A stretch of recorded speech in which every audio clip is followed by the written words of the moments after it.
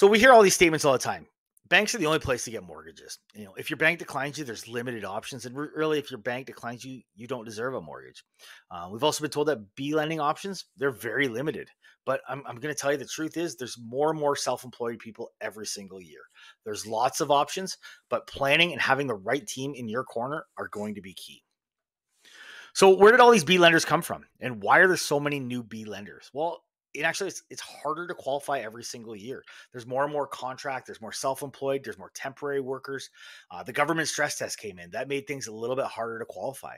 Um, a lot of these lenders they looked. There's great clients that are out there that can't get approved. So there's more and more B lenders all the time. They're launching new alternate lending arms to give you more and more options every single year. And, and, the benefit of working with a broker is, you know, you might not fit under just one. You know, if you go into Scotiabank, they might have a program for you, um, or they might not, depending on what they have this week, right? Like First National, there's all kinds of different lenders. They all have different guidelines. They have all have different options to get you approved.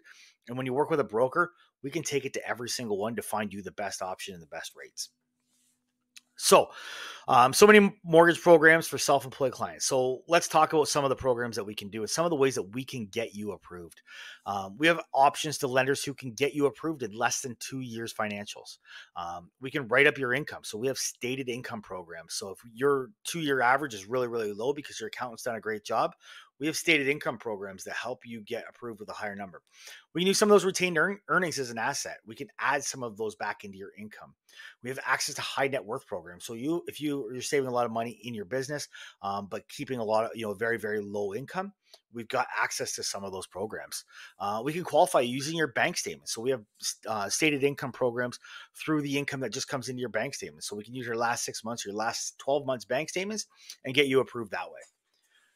Now it's important to stand understand your options, right? So we have two simplified options: A lenders, which are like the banks, um, and B lenders. Those are the alternate arms. So A lenders, like I said, they treat your income um, like an employee, uh, they, like any T4 employee. Uh, they offer the best rates. They do offer lower fees. They are a cheaper option that way if you are claiming a high income.